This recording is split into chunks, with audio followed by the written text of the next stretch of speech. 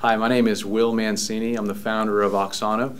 We're a nationally based nonprofit uh, consulting firm dedicated to uh, churches and vision clarity.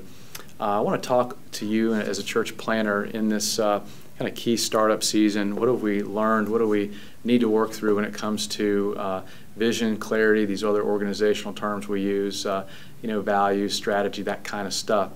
So to give a quick backdrop, uh, as a church planter myself, it transitioned in 2001 to coaching uh, guys full time.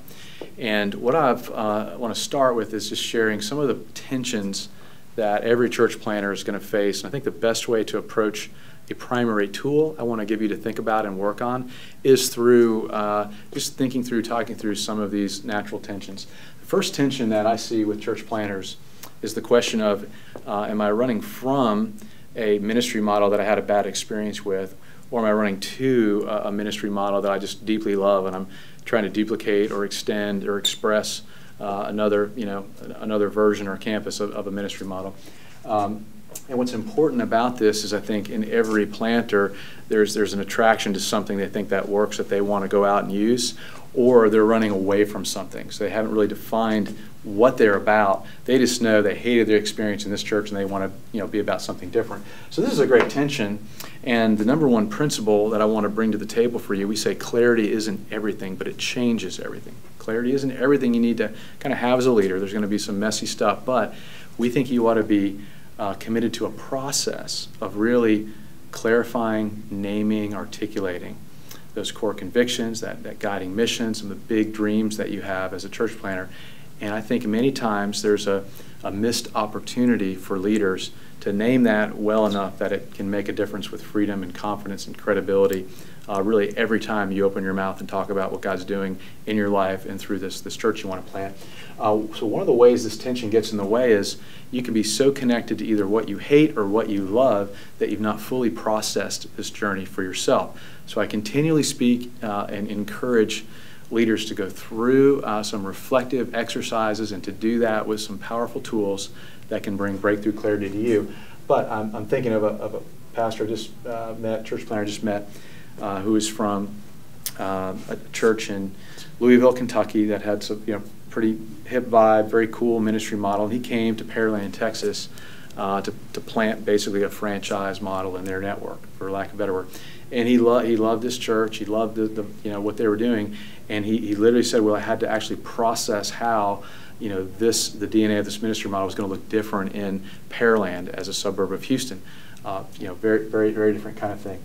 Uh, the second tension that we have is uh, am I planning the church that's in my head only or the one that uh, God is going to build from the ground up?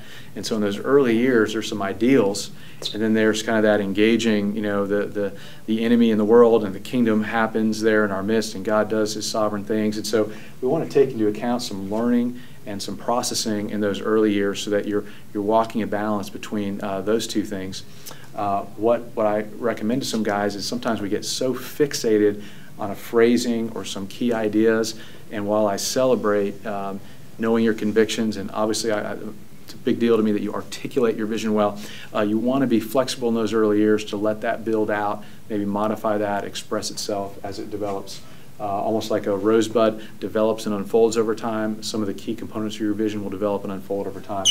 Third, we want to talk about this tension of having a once in a lifetime to build a foundation of vision versus this stressful, urgent kind of build out of all the practical things you need to do as a planter uh, to get to get this thing off the ground.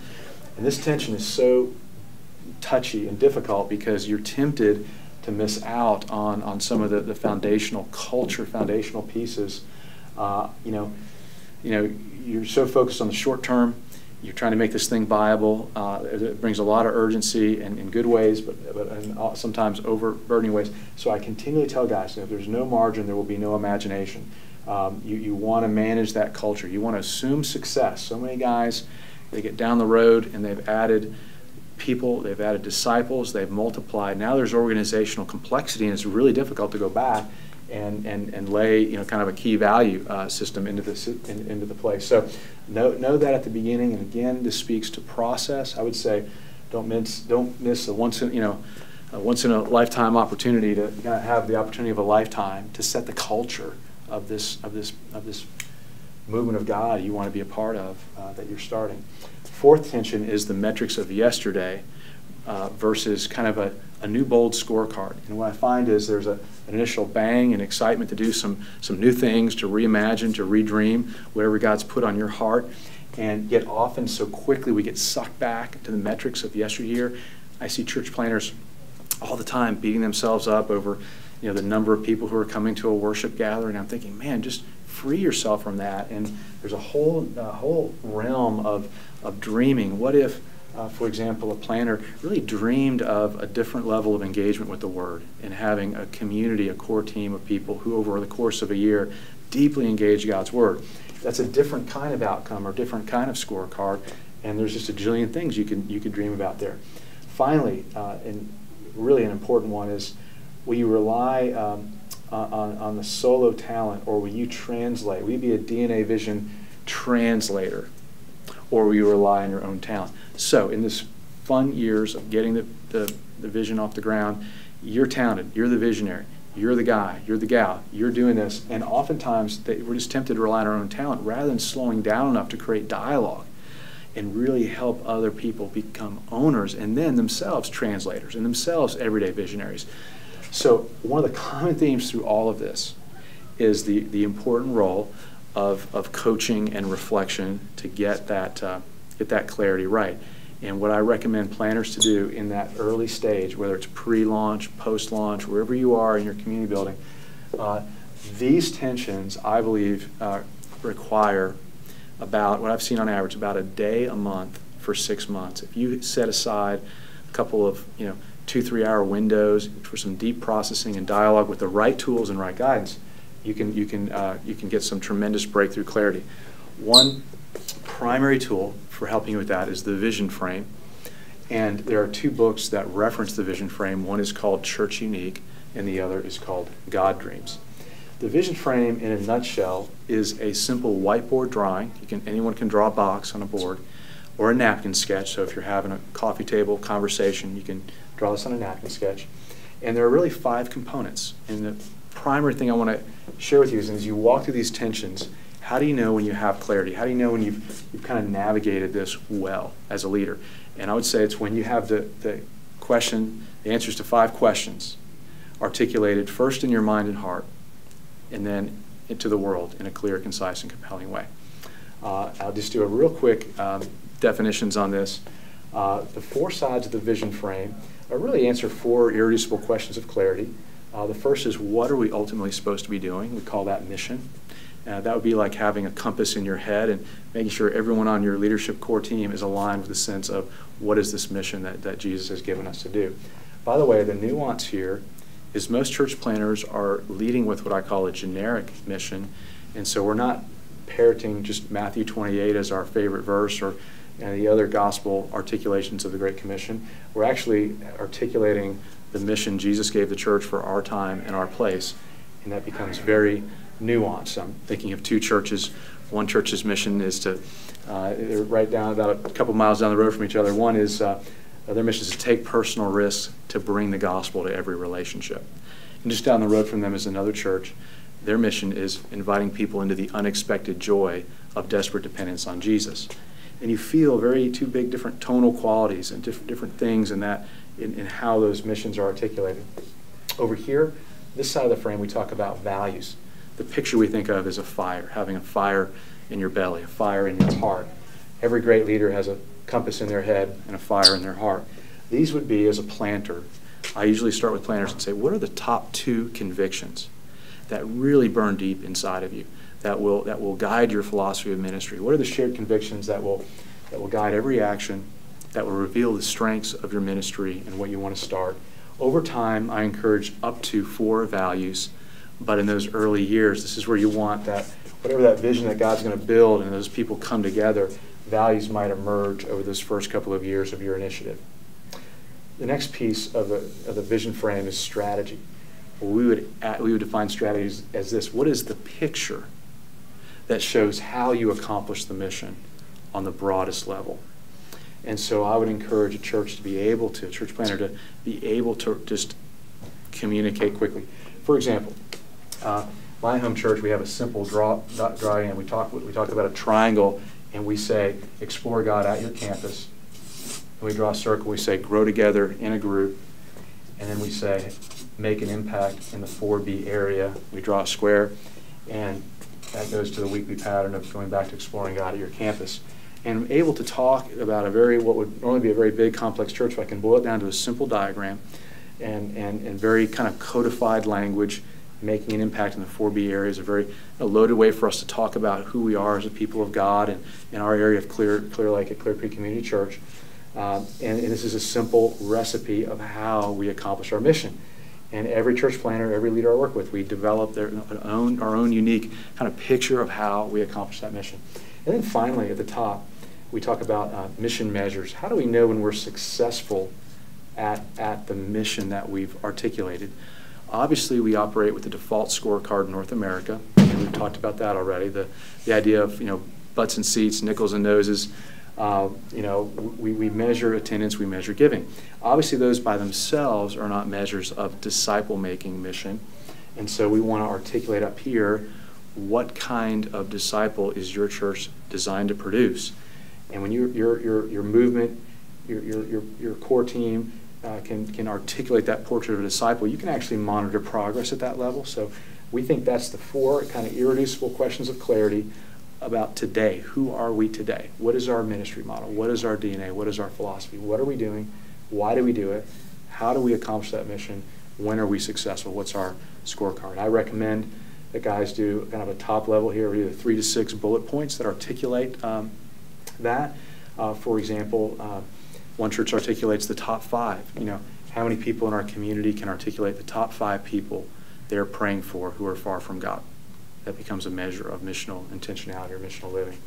Um, once you have all that, there's one last question that we ask, and that is, where is God taking us? And it's as if we look through the frame to a picture of the future, and we call that vision proper. And the key question here is where. Now, track with me. Every leader has a compass in their head, you know, fire in their heart. They have an invitation in their hand. They're able to draw a quick picture that shows this is your next step of getting involved. And, and they can name the win. There's a bullseye that they're aiming at in terms of what real mission success looks like. In addition, they're able to articulate the next big dream. Uh, in God Dreams, I talk about you, know, you can look long into the distance, and there's a mountain scene out there, and there ought to be a next big dream on your heart that's years away that you can articulate. And there's a short term horizon, the road in front of us, and some milestones. And I encourage uh, planners to be able to have one big goal at a time in the short term future that you can focus your, your energy on and focus your, your team around. And so part of this skill of painting a picture uh, involves both the ability to inspire people to big dreams and the ability to focus your resources uh, very, very uh, sharply on, on one big thing at a time. Peter Drucker said, There are no results without a concentration of resources. Most church planters I meet are trying to do too much. Why? They've not processed deeply the clear calling that God's given them in a way that becomes very manageable, that becomes ultimately freeing. Why should you take some additional time, one day a month for the next six months, to work through the vision frame of your church, to work on that picture of the future? Ultimately, I believe it boils down to freedom. Freedom is not the freedom to go do anything you want to do, it's the freedom to give all of yourself to what God is calling you to do. I run into too many pastors who are busy, they're burned out, they're overwhelmed, and that's coming from a, a lack of slowing down to really listen to that voice of God. Uh, maybe a final image of ultimate clarity that I would give to you is uh, Jesus in John chapter 17. And he, he gets to the end of his uh, whole life and even a very busy three year ministry, a ministry where people clamored to get time with Jesus, a ministry where he had to go on to the next village, even though there was still healing and other things left undone uh, in his wake a, wake of unmet needs as he navigated and stayed on mission. And yet he gets to the end of a very busy ministry and he says, Lord, Father, I have accomplished everything. I've completed everything you've called me to do. And that's a beautiful uh, thing to be able to say. Uh, Jesus wasn't called to do everything, but he had clear marching orders from the Father that guided every footstep. Jesus knew his origin, his mission, and his destiny. And you, as a church planter, every time you talk, every time you pray, every time you preach, every time you cast vision, every time you put an update on Facebook or send out a tweet or do anything in the name of what God's calling you to do, my heartbeat is for you to do that with compelling clarity. You can't get there through a product, a book, a conference. It requires personal process. Walk that process, and you will push through, break through to a new level of clarity. And I'd encourage you with uh, some of these initial ideas. As a next step, draw a napkin uh, sketch right now on a whiteboard or on a piece of paper. Just draw a box and just ask yourself right now on a scale of 1 to 5, how clear am I on articulating the big thing that I'm ultimately supposed to be doing? Scale of 1 to 5 on mission. And then do over here on values. Write down those top two or three, maybe four values. Where, how clear are you, scale of 1 to 5 on those? If you had to draw a napkin sketch of how do you accomplish the mission, what would you draw? How clear is that? Score yourself 1 to 5 there. Uh, you know, measure of success. If your mission's to be, you know, to let's say you're going to, you know, help people become fully devoted followers, what's a fully devoted follower look like? And, and how would you define that? How clear are you? Scale of 1 to 5 there. When you look out long term, three to five years, how clear is your dream? Score yourself there, 1 to 5. How about in the short term? What's the most important single thing you've got to do as a church planter in this next year? How clear are you on that? Um, and score yourself 1 to 5. Use that as a starting point and then dive into some tools that can help you uh, do this. Uh, God wants to do something cosmically significant and locally specific in your ministry. Clarity isn't everything, but it changes everything and gives you a level of freedom and confidence and progress that, uh, that will blow you away. Thanks.